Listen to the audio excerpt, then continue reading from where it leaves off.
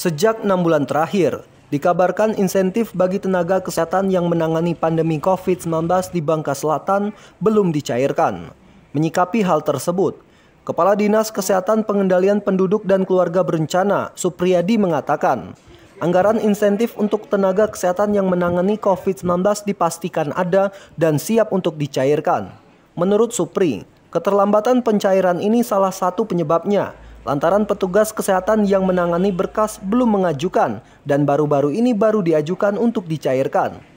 Supriyadi mengatakan, total anggaran insentif yang diajukan untuk dicairkan kurang lebih mencapai 22, miliar rupiah dengan rincian 1, miliar rupiah untuk rumah sakit, 230 juta untuk laboratorium, dan 500 juta rupiah untuk seluruh puskesmas yang ada di Bangka Selatan. Selain itu, Supriyadi kembali menegaskan bahwa pihaknya telah menyiapkan insentif untuk tenaga kesehatan yang menangani pasien COVID-19 dengan total anggaran sebesar 3,5 miliar rupiah. Insentif itu fake, ada insentif tenaga kesehatan sudah fake.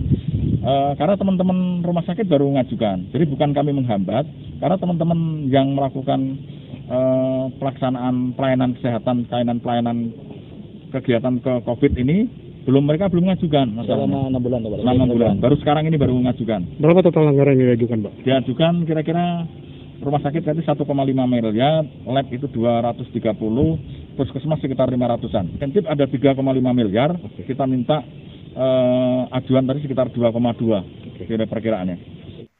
Untuk itu dirinya mengimbau para nakes agar tenang dan tetap melayani masyarakat dan diperkirakan dalam waktu dekat insentif segera dicairkan karena saat ini masih dalam proses. Dari Tobuali, Bangka Selatan, Eko Septian Terasim TVRI Bangka Belitung melaporkan.